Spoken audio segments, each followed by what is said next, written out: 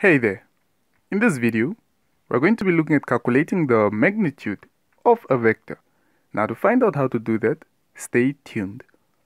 Welcome to Raise Up Namibia. My name is Met Yanata aka the resistor of bad and the lover of good. Hashtag dark and lovely underscore. Walk by faith and not by sight. So, say for example you have a certain vector, right? So AB.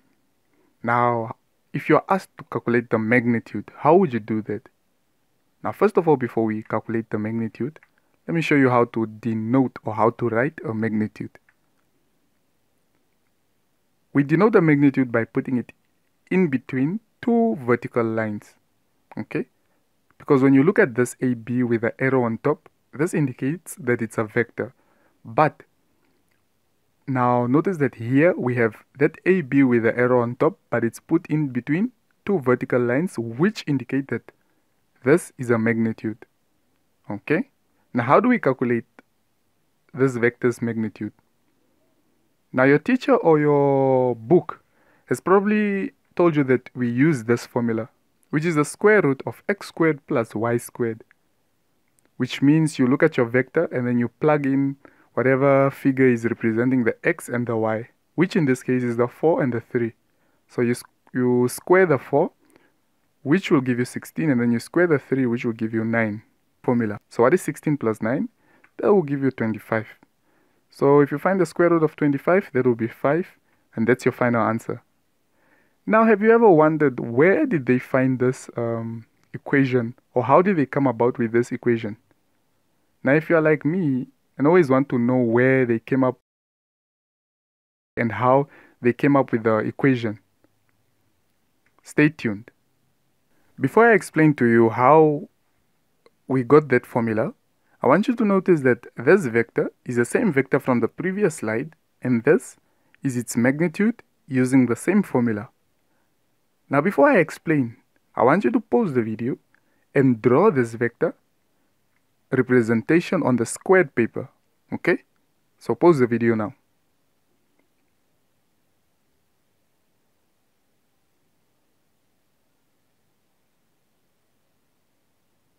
Okay, now to draw this vector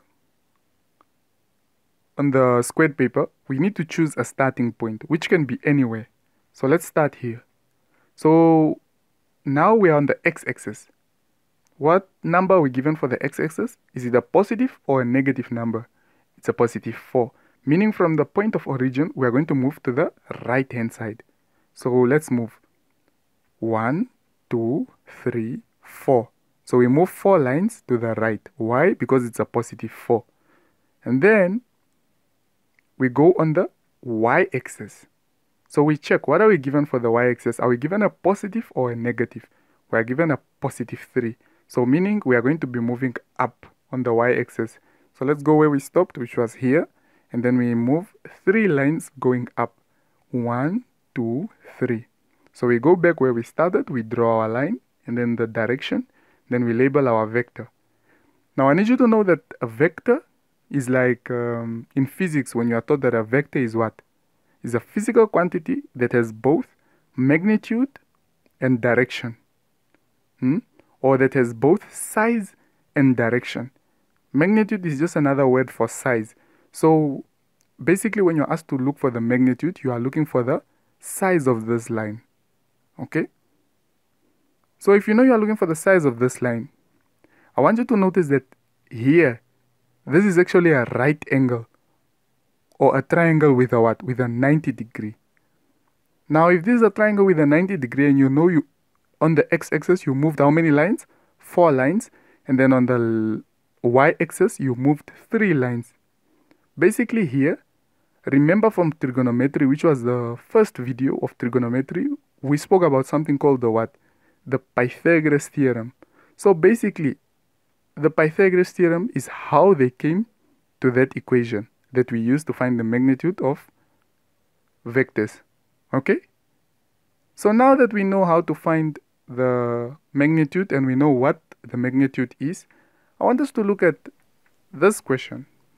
Suppose that vector A is equal to this and then vector B is equal to this.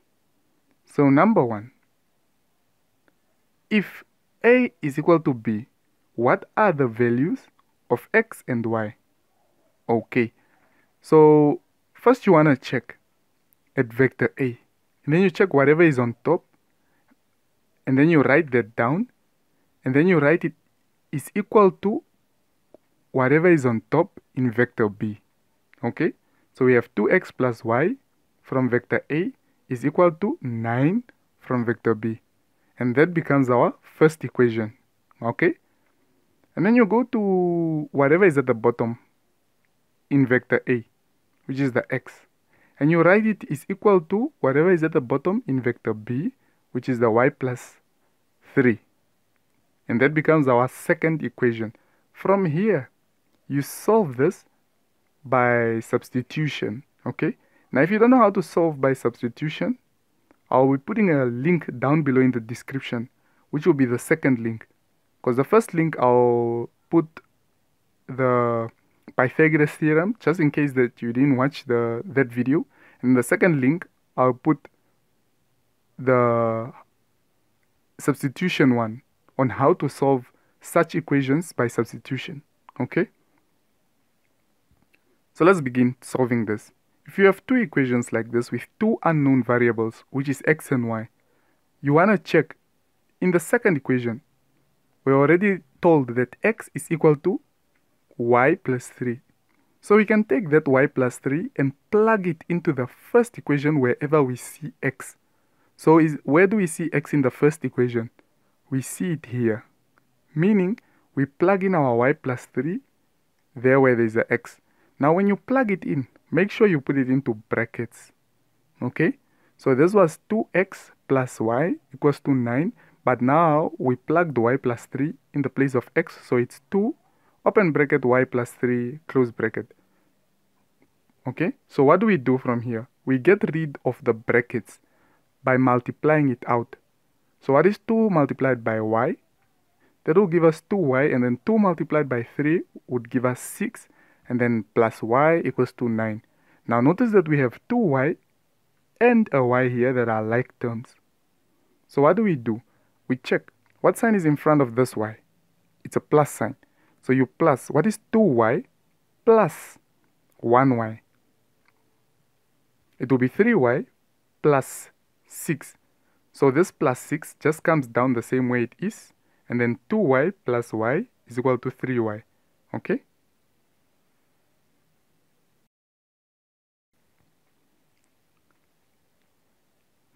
Now, from here, it's a simple linear equation which you can just solve. So you can solve by taking this 6 to the other side whereby it becomes negative 6 or if you know that this is a positive 6 you can simply cancel by subtracting 6 on both sides which will cancel on the left hand side and then you will be left with 3y on the left and then 9 minus 6 will give us a 3 okay now knowing that we want the value for y 3y is the same as saying 3 multiplied by y to cancel multiplication we divide by 3. So 3 divided by 3 will cancel out and we are left with y is equal to 3 divided by 3. So this 3 divided by 3, that will be 1. So y is equal to 1. Okay? Now you use that 1 and then you substitute it. You can use any of the equations, whether it's equation 1 or equation 2. So for this one, let's use equation 2. So wherever you see a y, you plug in 1 in the equation 2. Okay? So this is equation 2. So where do we see a y? The y is right here. So we plug in 1. So we have 1, x is equal to 1 plus 3, which will give us 4. And that's your final answer. So have you satisfied the question? It's asking for what are the values of x and y.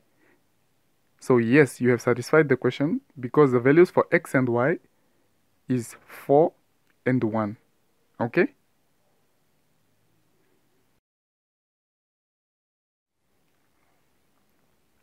so how are you finding this video is it helpful so far if yes please do support the channel by giving us a huge thumbs up and subscribing okay now how about if you are given a question that says given that the vector n is equal to this and uh, the vector O is equal to this, where x is positive. Find the value of x such that two vertical lines and in between them n equals to another two vertical lines and in between them O. What does this mean? Now the first thing I want you to notice is that the fact that the n and the O which is equal is in two vertical lines. This means they are no more talking about uh, the vectors being equal, but they are talking about the magnitudes of the vectors being equal. Okay? So unlike on the previous slide where we spoke about the vector A and B being equal, where we took whatever was on top and we made it equation 1 and then whatever was at the bottom we made it equation 2. This time around, instead of just having n equals to O, hmm, we have the magnitude of n is equals to the magnitude of O. So this means for you to solve for this, you are not going to take whatever is on top and make it equation 1 and whatever is at the bottom and make it equation 2. You will have to find the magnitude of n and then the magnitude of O. Okay? So you can do that by using the on both sides because you'll be looking for the magnitudes separately because n is on the left hand side and then O is on the right hand side. So let's do just that. So we plug in the x and the y values for the vector n and then the same for the vector O. And then we work out knowing that 6 squared is equals to 36 plus 8 squared which is 64 is equal to x squared will be x squared. And then 0 squared will be the same as 0 so it's fine we don't write it down. Now from here a lot of people will work it out until they get the answer but I like removing the square root okay so how can I remove the square root because it's a square root I can remove the square root on both sides by squaring both sides okay so if you square both sides, that will remove the square root. And on the right hand side, you'll be left with x squared. Side you'll be left with 36 plus 64. Okay? Now what is 36 plus 64? That will give us 100. And then on the left, on the right, you still have x squared. Now, the initial question asked for you to find the value of x. Hmm? So here we have x squared is equals to 100. Now for us to get the x alone, we reintroduce the square root on both sides. So on the right hand side, it will cancel out the square, which will lead to x. And then on the left hand side, what is the square root of 100? It's 10. And that's your final answer. Okay? Because it says where x is positive, we leave this x as 10. Positive 10. Okay? So again, if you found this video helpful, do give us a like, subscribe to our channel, turn on that notification button to be the first to see the next upload, share with friends, family, and classmates. And remember, together we rise to higher heights, apart we all stay behind. Cheers.